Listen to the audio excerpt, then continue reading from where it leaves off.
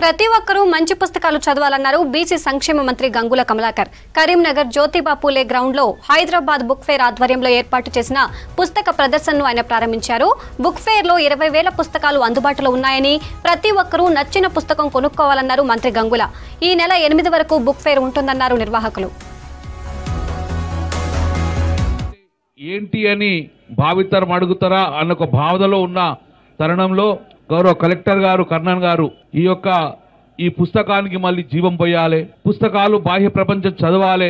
పుస్తకం అంటే ఏంది? పుస్తకంతో సమాజంలో ఏ మార్పు వస్తుంది అని ఈ బాహ్య ప్రపంచానికి భావి తరానికి చెప్పాలని చెప్పి సుమారు వారం రోజులు ఈ బుక్ ఫేర్ ఏర్పాటు చేసుకొని చివరి రోజు ఎనిమిదో తారీఖు నాడు మనకు ప్రపంచ మహిళా దినోత్సవ సందర్భంగా క్లోజ్ చేసుకొని ఒక గొప్ప కార్యక్రమాన్ని మనకు అందించిన కలెక్టర్ గారు కర్ణన్ గారికి హృదయపూర్వక వారికి అభినందనలు తెలియజేసుకుంటూ ఈరోజు ఒక బుక్ ఫేర్ అనేది మన ఇళ్ళలో కాంతి రేఖలు విరజిమ్మే విధంగా పుస్తకం ఎప్పుడు వెలుగొందాలని మనస్ఫూర్తిగా కోరుకునే వాళ్ళు నేను ఒకరిని ముఖ్యంగా పిల్లలందరూ తల్లులందరూ కూడా పుస్తకాన్ని మీ ఇంట్లో ప్రధానంగా పెద్దపీట వేయండి. ఎప్పుడైతే మీరు ఆ ప్రధాన పీటగా వేశారనుకోండి ఇంట్లో ఎన్ని ఫోటోలు పెట్టారు ఎంత పూజలు చేశారనే కంటే ఎన్ని పుస్తకాలు మీ పిల్లలకి ఇస్తున్నారు పుస్తకాలకు ఏ రకంగా గౌరవం చూపిస్తున్నారు అనేది మీ ఇంట్లో కనుక మారిస్తే ఒక పదేళ్ళలోనే మీ ఇంట్లోనే మార్పు కనిపి